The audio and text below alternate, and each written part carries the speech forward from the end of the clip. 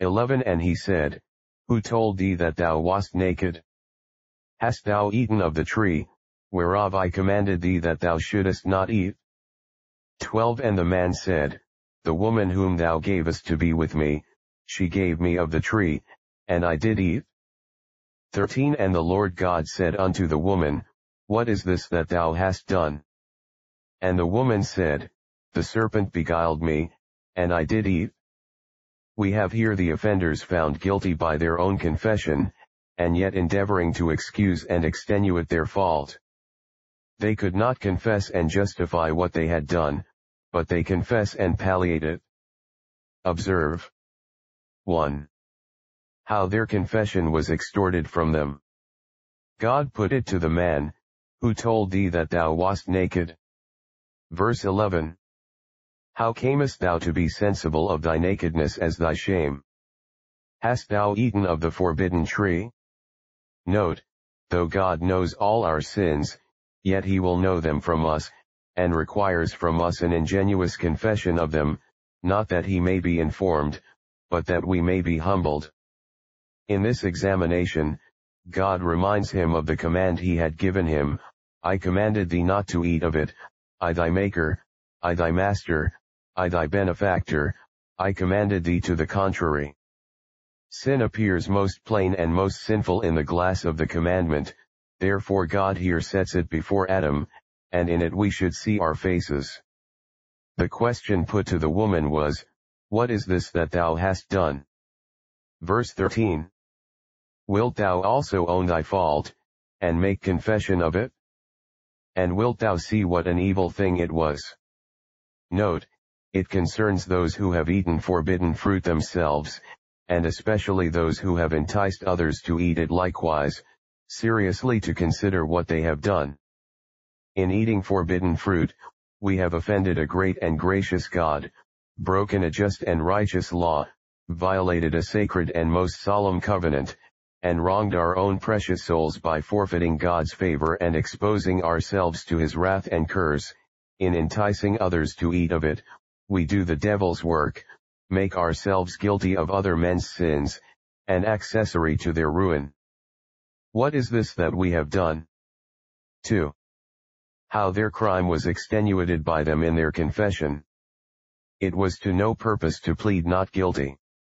The show of their countenances testified against them, therefore they become their own accusers, I did eat, says the man, and so did I, says the woman, for when God judges he will overcome. But these do not look like penitent confessions, for instead of aggravating the sin, and taking shame to themselves, they excuse the sin, and lay the shame and blame on others. 1. Adam lays all the blame upon his wife. She gave me of the tree, and pressed me to eat of it, which I did, only to oblige her a frivolous excuse. He ought to have taught her, not to have been taught by her, and it was no hard matter to determine which of the two he must be ruled by, his God or his wife. Learn, hence, never to be brought to sin by that which will not bring us off in the judgment, let not that bear us up in the commission which will not bear us out in the trial, let us therefore never be overcome by importunity to act against our consciences, nor ever displease God, to please the best friend we have in the world. But this is not the worst of it. He not only lays the blame upon his wife, but expresses it so as tacitly to reflect on God himself, it is the woman whom thou gavest me, and gavest to be with me as my companion, my guide, and my acquaintance, she gave me of the tree, else I had not eaten of it.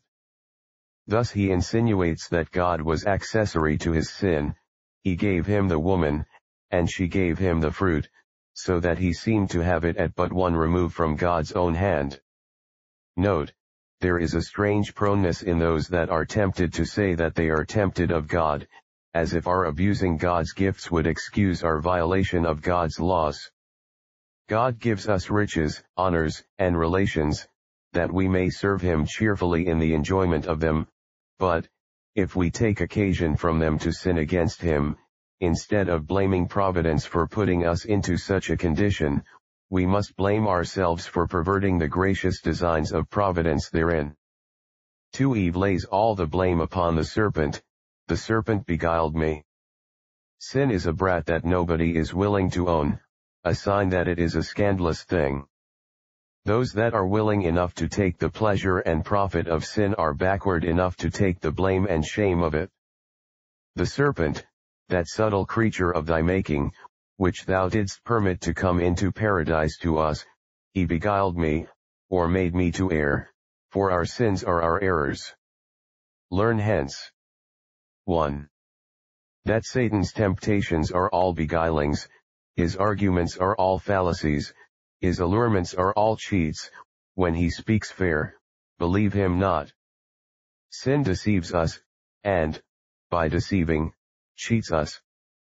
It is by the deceitfulness of sin that the heart is hardened. See Romans 7:11, Hebrews 3:13. 2. That though Satan's subtlety drew us into sin, yet it will not justify us in sin, though he is the tempter, we are the sinners, and indeed it is our own lust that draws us aside and entices us, JAM 114.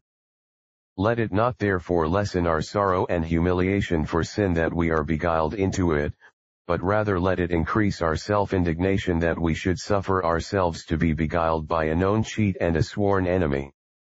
Well, this is all the prisoners at the bar have to say why sentence should not be passed and execution awarded, according to law, and this all is next to nothing, in some respects worse than nothing.